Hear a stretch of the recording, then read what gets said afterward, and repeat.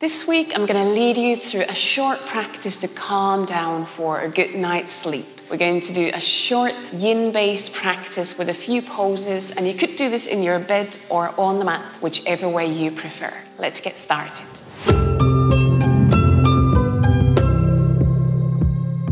For this week's practice, I would recommend having a bolster or some kind of a big cushion or a pillow or maybe a big blanket that you can roll, just so you can have something for our final reclining back bend. Other than that, you might be all good without any props, unless you really like to use props in your practice. Bring them all in and find your practice space. I'm practicing on the mat, but you might do this in your bed as well. We're going to start just very briefly on all fours. So find your way onto hands and knees. And we'll start by circling the weight from hands to knees, knees to hands. You might bend your elbows and just look for gentle movement in the hip joints, shoulder joints or you might start to bring some movement to your spine. Maybe there's some cat cow movements going on. You can change the direction if you haven't already. And just notice how you feel in those big joints in the shoulders, hips, how your neck feels. Is there a way you could soften your neck, your shoulders a bit more? And a few breaths, a few movements.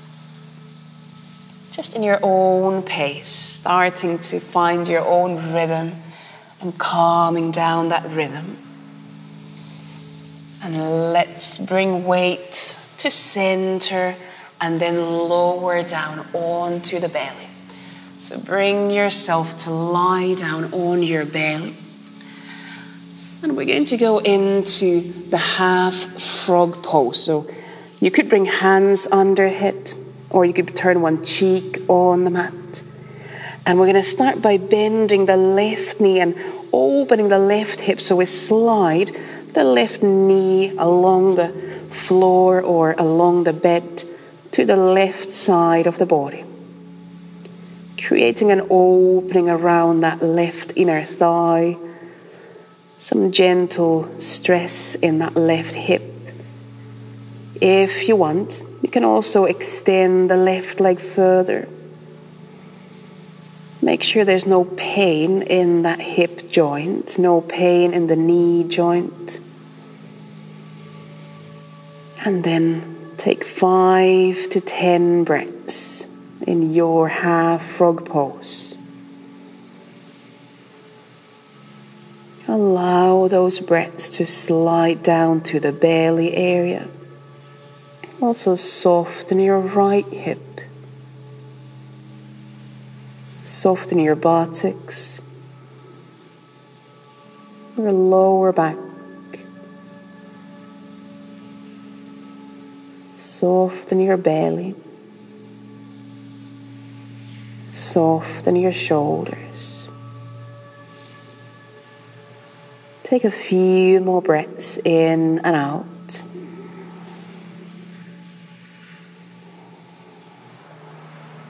And with each exhalation, let yourself become just a bit heavier. So really trying to exhale tension. And then, after your few breaths, slowly slide your left leg back down closer to the right leg could rock the pelvis from side to side.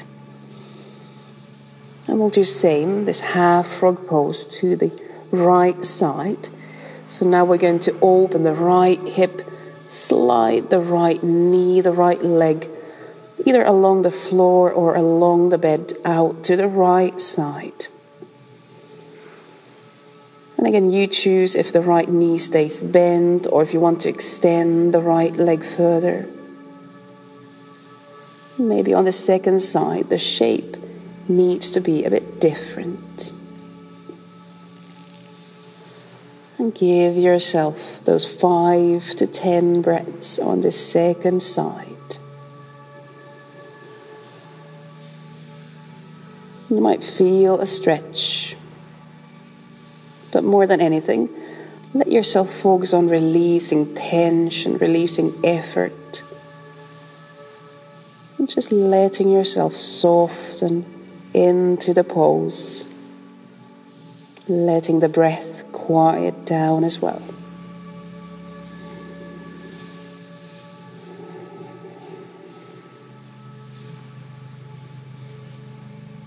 And let your mind, your thoughts rest in observing the breath. Give yourself a few more breaths on the second side of the half frog.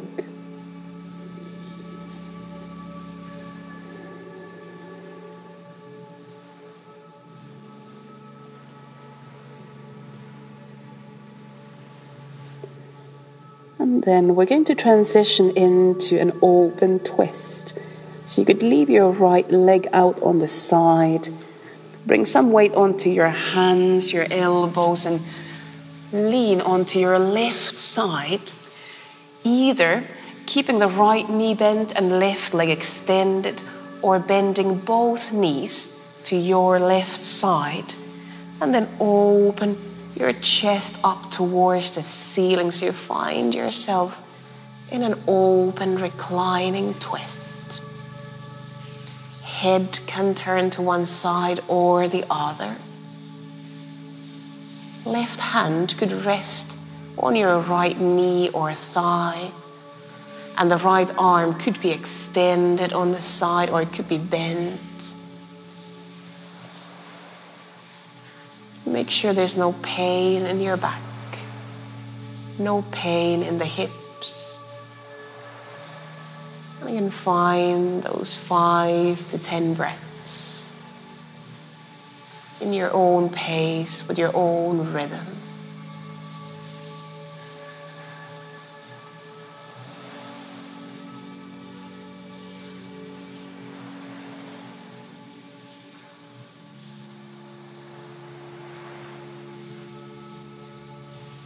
can allow your right knee, right shoulder to slowly slide away from each other.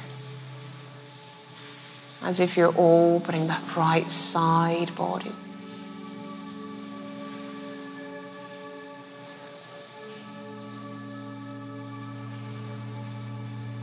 Take another breath or two in and out.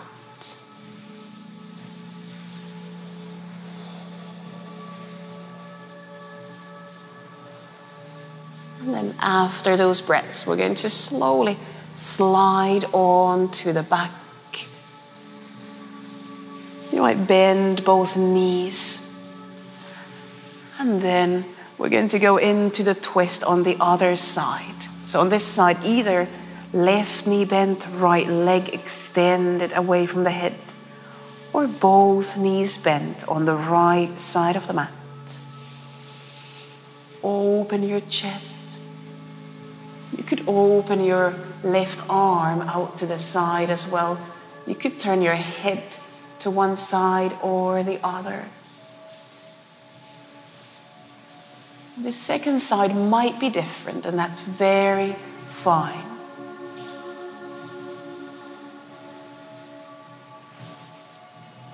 And five to ten more breaths here in and out.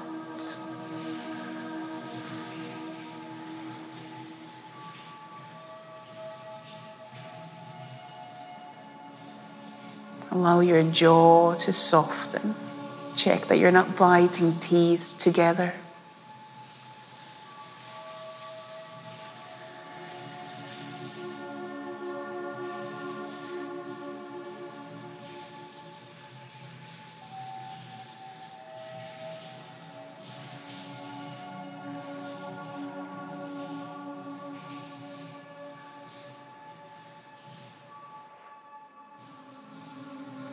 And again, take another breath or two in and out.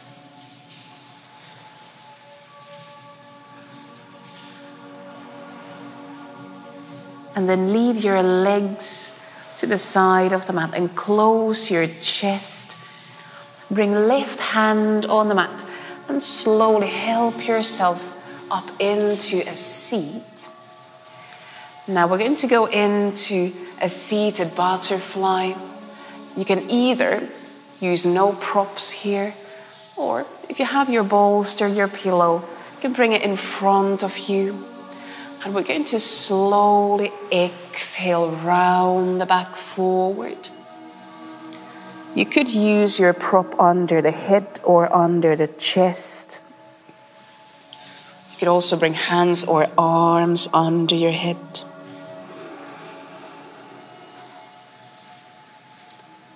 Still adjust the shape and the legs so you feel that you can lean forward for a moment, closing in.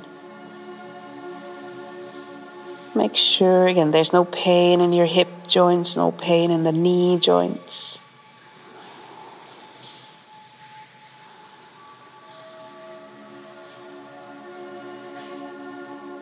And breathe another five to ten more breaths here. You could send these breaths towards the back,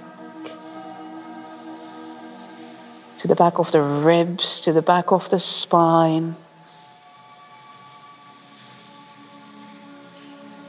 Allow your belly, your chest to become heavy. Allow your head to become heavy.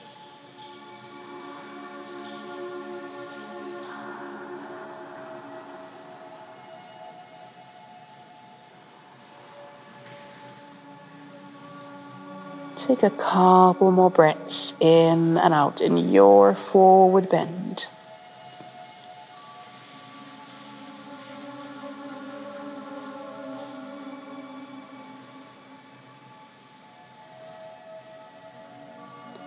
And then slowly, slowly inhale, bring your back, your neck, your head up. You could roll the shoulders a couple of times and just take a few breaths in and out. Maybe turn the head from side to side. And then bring your bolster, your pillow, or your blanket behind your back. We're going to go into our final pose, the reclining back bend. You could leave your legs in an open butterfly shape, or you might just lengthen your legs onto the mat, onto your bed, and then lean your back, your head onto that support. If your lower back feels tender here, bend your knees. Maybe lean the knees, thighs inwards against each other. Arms can be out on the, on the sides like an open T shape or a cactus shape. Or you might even bring arms overhead. If that doesn't feel good, you're very welcome to leave arms lower down. Keep hands close to the body.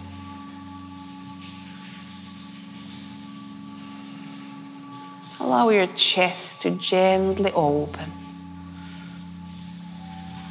Allow your shoulder blades to sink down. Allow your whole back to become heavy.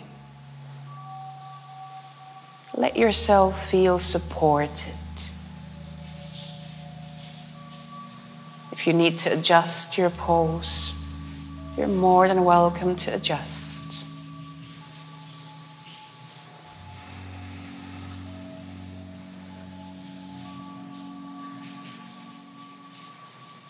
In this pose, we're going to spend a bit longer time. So, really make yourself comfortable. Or if at any point you start to feel pain in your body, you might push the bolster aside and bring yourself onto the mat, onto your bed, lying down on the back without the bolster.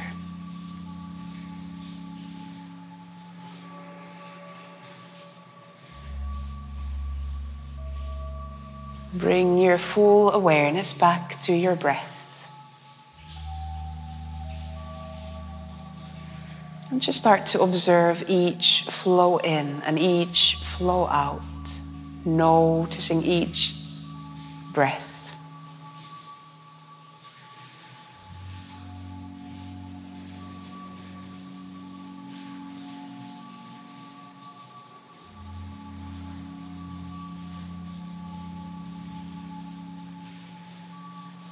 If you notice that you're holding tension in your body, tension that you don't need right now for this shape, for this pose,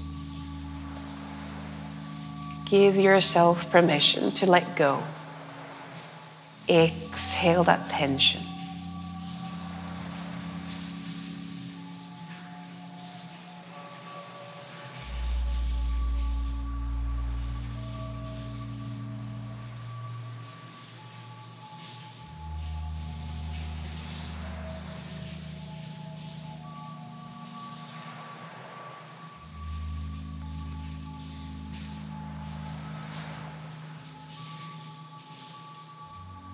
Now you have an option.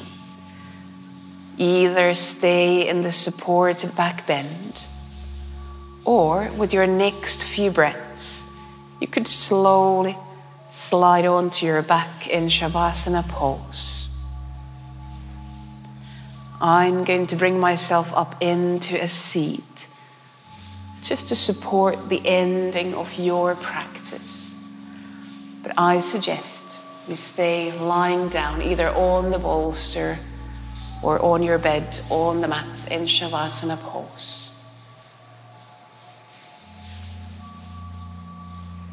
Breathe in and out.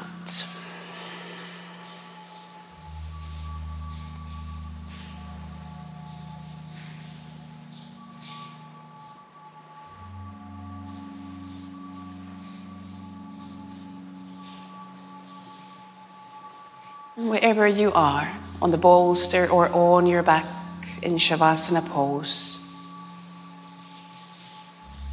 take a moment to thank yourself for slowing down, for taking a moment to look after yourself, helping yourself to calm down from whatever happened during your day today. You can still continue your practice. Stay in your resting pose. Or maybe slowly slide towards sleep. Thank you very much for joining in. Namaste.